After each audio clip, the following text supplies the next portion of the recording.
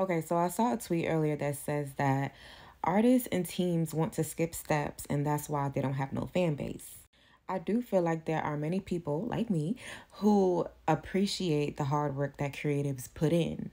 But I do think the more that consumers got lazy, the more artists' teams started to find loopholes and ways to make more money while having to do less.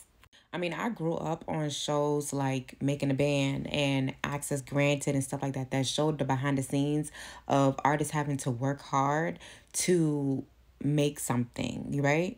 But now access to a lot of these, creatives are at the palm of our hands, right? So a lot of the labels don't have to put in a lot of money behind them because you just need to get on your own phone that you pay your own phone bill for and create I also feel like many have gotten very sensitive and it has blurred the lines between deciphering giving grace versus authenticity, giving constructive criticism versus being called a hater or being a bully or whatever.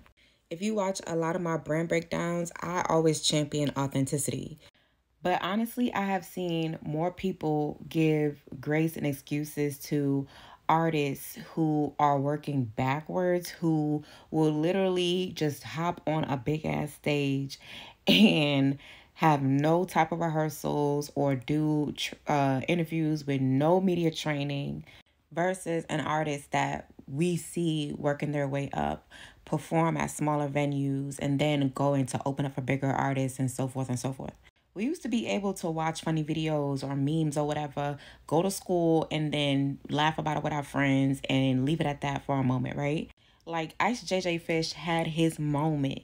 But in today's day and age, I really feel like if Ice JJ Fish was to put some auto tune behind his voice, hop on a drill beat or whatever, lo and behold, he might hit the charts. I think we're getting back to appreciating real effort because the numbers and the engagement and excitement behind some of these artists who do ignorant things versus their ticket sales are very telling.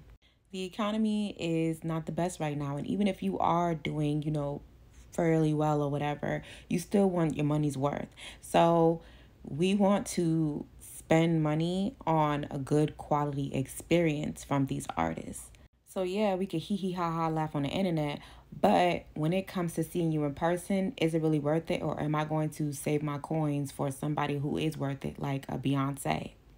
I'm predicting that we're stepping more into the moments of going back to appreciating constructive criticism and being real about it and loud about it um, and deciphering who is for the moment versus who you need to support in their longevity of giving not only quality music, but a quality experience that is worth your money.